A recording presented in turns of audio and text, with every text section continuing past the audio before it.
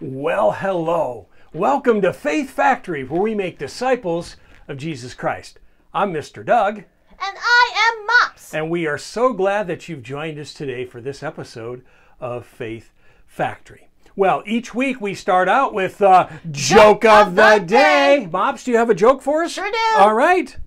Why are frogs always so happy? Why are frogs always so happy? I don't know. They eat whatever bugs them. They eat whatever bugs them. oh, that's a good. I wish I could eat whatever bugged me. Oh, oh, well, that's a lot of fun. Thank you for that. And uh, we always start out with our song. Are you ready for our song to lead us? All right, we've been doing a song this month called Alive, Alive. We've been learning about the resurrection appearances of Jesus when Jesus appeared after he rose from the dead. And uh, this is a great song for this time of year and any time, really, because we're always celebrating that Jesus is alive. So let me grab the words. All right. Okay. And remember, everyone, if you want, when we sing hallelujah, raise your hand up high. All right, let me raise the words up a little bit higher. Okay, how's that, That looks look? good. All right. Now let me crank up the music machine. Last week we had some trouble with it and the crank fell off. Let me do it very gently here. Okay. Hopefully it's not cranky this week. Yes, you're right. You're right. Here we go.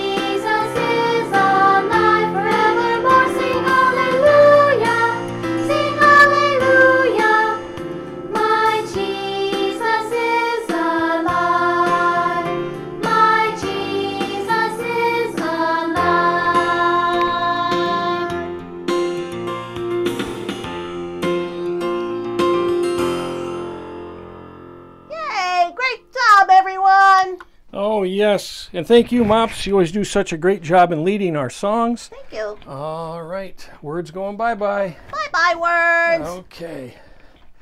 All right. Well, Mops, I've brought along a picture I want to show you today. Picture that goes along with our Bible story. Okay. Let me just grab it over here and I'll bring it right over to you. Whoops. Uh oh. Okay. Oh, fun. All right. This is a picture uh, that an artist drew of our Bible story today. I want you to take a close look at it and see what you see. There's uh, this man in white, which is Jesus, we're going to find out, and he's cooking breakfast. He's got some fish on the fire and he's got some bread.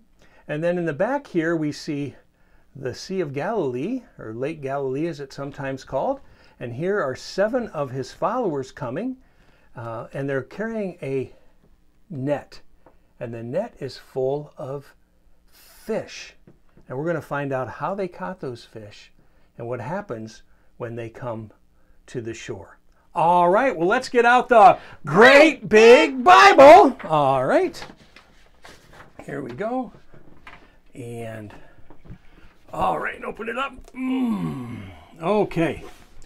All right, our Bible story today is from the Gospel of John, chapter 21, verses 1 through 19. All right, Gospel of John, the good news of John, the good news that John wrote about Jesus. All right, here we go. Later, Jesus showed himself to his followers by Lake Galilee. This is how it happened. Some of the followers were together.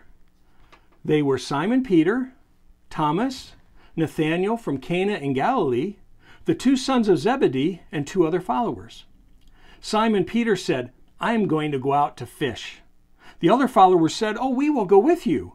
So they went out and got into the boat. They fished that night, but caught nothing.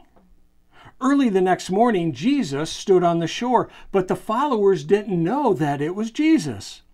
Then he said to them, Friends, have you caught any fish? They answered, No. He said, Throw your net into the water on the right side of the boat, and you will find some. They did this, and they caught so many fish that they could not pull the net back into the boat. Mr. Doug, Yes, Mops. why didn't the followers know it was Jesus? Well, it's just like in our other stories that we've been learning this month, other resurrection stories when Jesus appeared to people after he rose from the dead. At first, they don't recognize him. They don't know it's him. And a lot of the, it has, they're not expecting him. They didn't know that he had risen from the dead, and uh, they didn't expect to see him there. And, uh, and but, but he was. And so they, uh, it's a, they, well, I, I think, to be honest with you, I think the reason that he had them uh, throw their net on the other side of the boat and catch a lot of fish is to, so that they'd realize it was him. They'd say, wow, we've been fishing all night and caught nothing. And now this man says, throw our net on the other side and it's full of fish. And that's when they realized it was Jesus. All right. John said to Peter, It is the Lord. When Peter heard him say this, he wrapped his coat around himself, for he had taken off some of his clothes to fish. Then Peter jumped into the water, and the other followers went to shore in the boat, dragging the net full of fish. They were not very far from shore, only about 100 yards away. When the followers stepped out of the boat and onto the shore, they saw a fire of hot coals. There were fish on the fire, and there was bread. Jesus made breakfast for them? Yes, yes, he must have known that they'd been out all night and had, were be very, very hungry, and so he had breakfast uh, for them when they came to the shore. Then Jesus said, Bring some of the fish that you caught. Simon Peter went into the boat and pulled the net to the shore. It was full of big fish. In fact, there was 153 of them. Even though there were so many, the net did not tear. Then Jesus said to them, Come and eat. None of the followers dared ask him, Well, who are you? They knew it was the Lord. Jesus came and took the bread and gave it to them. He also gave them the fish. This was now the third time that Jesus showed himself to his followers after he was raised from the dead. Okay, so first we learned that Jesus appeared to Mary Magdalene at the tomb, Right? then to the followers as they walked to Emmaus, Right? And now to the followers on the lake shore. Yes, so three times now Jesus has shown himself to uh, his followers in his resurrected form after he'd risen from the dead. So when they were finished eating, Jesus said to Simon Peter, Simon, son of John, do you love me more than these? He answered, Yes, Lord, you know that I love you. Jesus said, Then feed my sheep. Again, Jesus said, Simon, son of John, do you love me? He answered, Yes, Lord, you know that I love you. Jesus said, Take care of my sheep. A third time he said, Simon, son of John, do you love me? Peter was hurt because Jesus asked him the third time, Do you love me? Peter said, Lord, you know everything. You know that I love you. Jesus said to Peter, Take care of my sheep. Then Jesus said, Peter, follow me.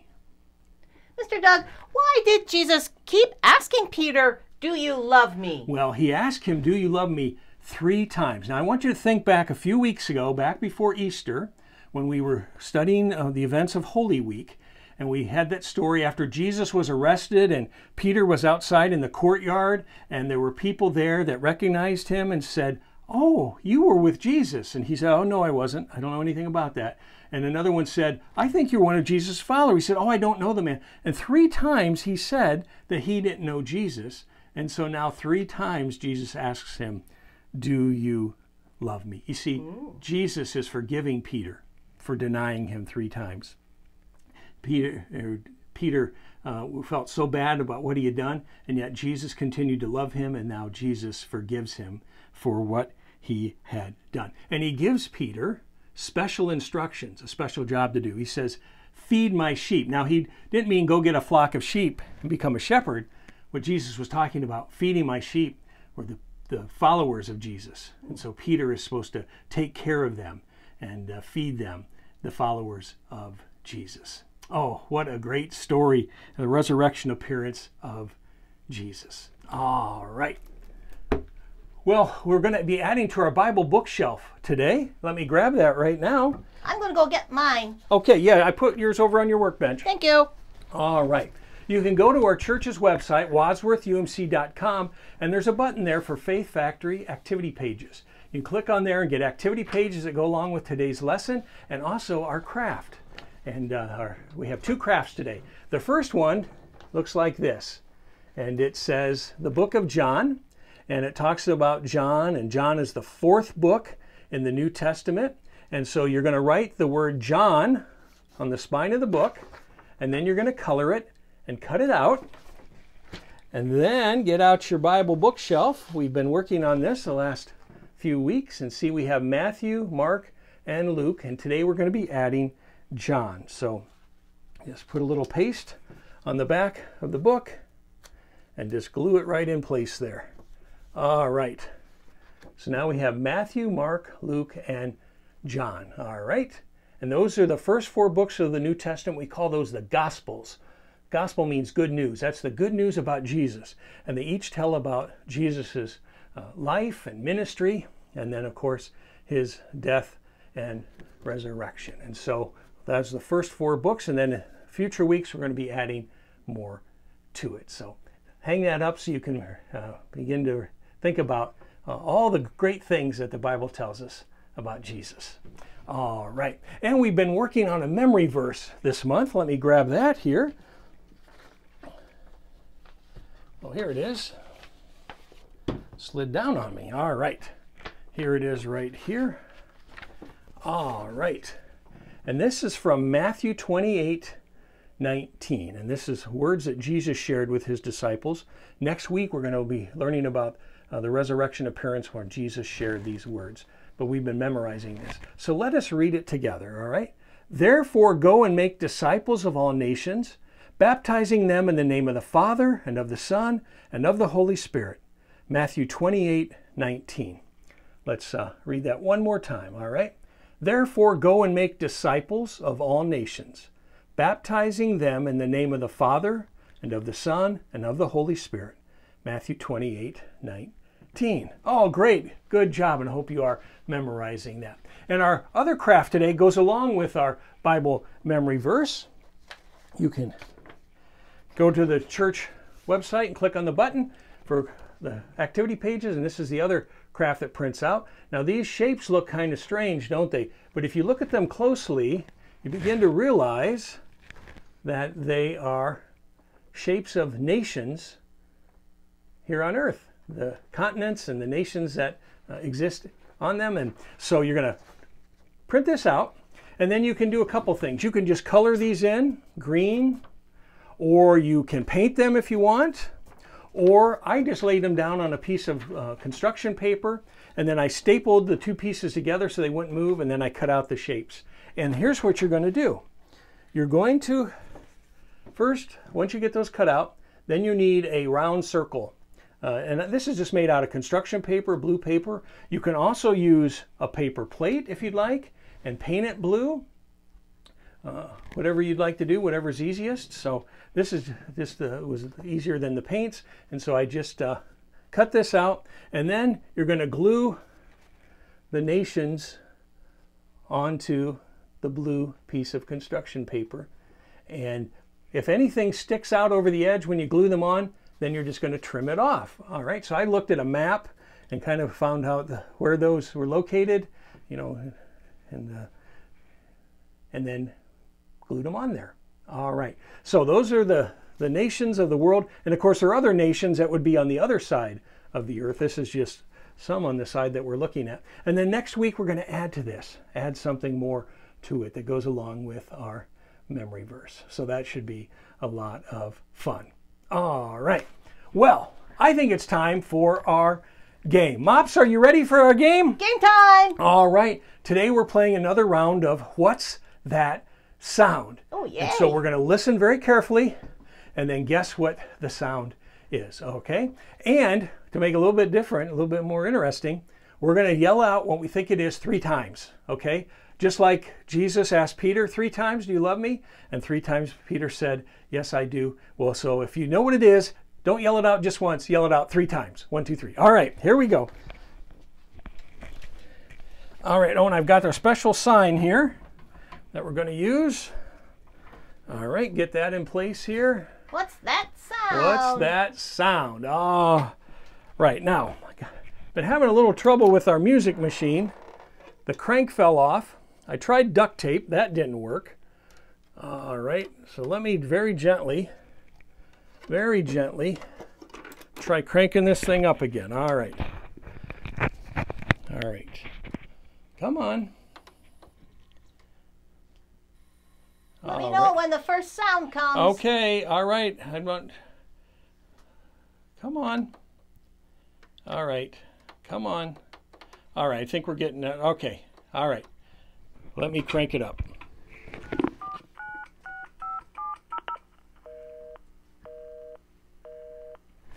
Any guesses? Telephone. Telephone. Telephone. Telephone. Good. You remember to do it three times. All right, here's the next one.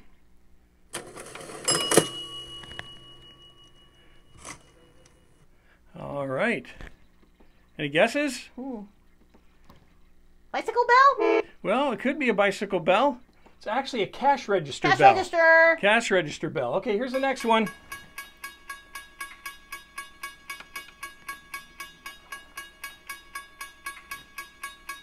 Any guesses? Train crossing signal. Oh, yeah. Train crossing signal. Train crossing signal. Yeah, good. You remember to do it three times. Very good. Okay, here's the next one.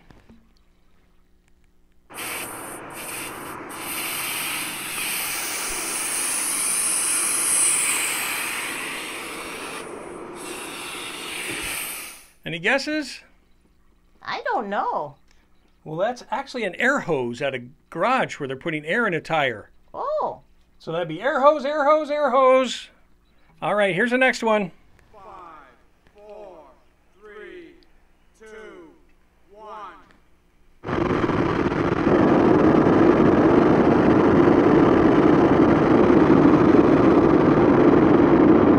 Was that a rocket launch? Yes. Rocket launch. Rocket launch. Rocket launch. Rocket launch. Oh, there you go. Okay, here's another next one. I know. Horsey. Horsey. Horsey. Very good. All right, great. Whoops. Let's uh, get to the next one here. All right, I'm trying to gently crank this without the crank falling off. All right, let's try this one. I know that one. What's that one? Elephant. Elephant. Elephant. Very good. All right, here's the next one.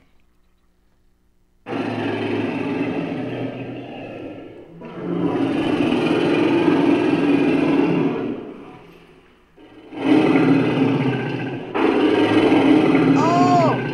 Lion. Lion. Lion. Yes, yes, you're not lying. That's a lion. All right. And that's what's our next one? Oh, okay. All right. Let me j- cranking this very gently. All right. Any guesses? Rooster. Rooster. Rooster. Rooster. All right. And any guesses? Is that all? Oh. Quack of a duck. Quack of a duck. Duck, duck. That's right. Duck, duck, duck. Is the next one a goose? No. Okay, it's not a goose. Okay. Was that it?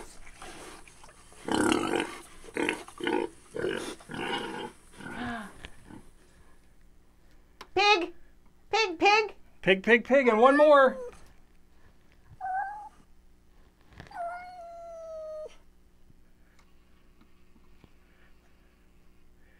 Any guesses? Hmm. It kind of sounded like a whimpering kitten. Very good. Yes, it's a cat. Cat. Oh, cat. Very cat. good. Cat. Cat, cat, cat. All right. Very good. You did a great job. Some of those were kind of hard. That air hose one was a was a hard one. But you did a great, great job. All right. Thanks for playing. What's that sound? What's That sound. All right. Well, Mops, you know what time it is now? Time for the Quizinator. That's right. Time for the Quizinator. So let me get it out here.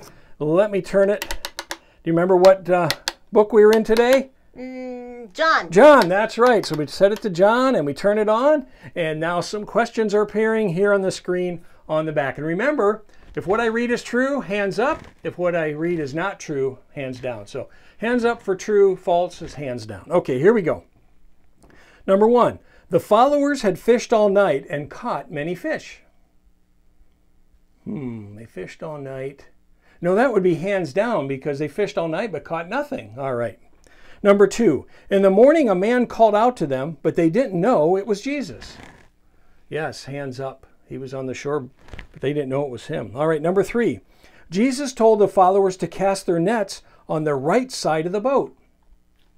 Hands up. They've been fishing on the left side, and he told them to put their nets on the right side. Okay, very, very good. Number four, they cast their nets like Jesus said, but still caught nothing. Hmm. No, that would be hands down, right?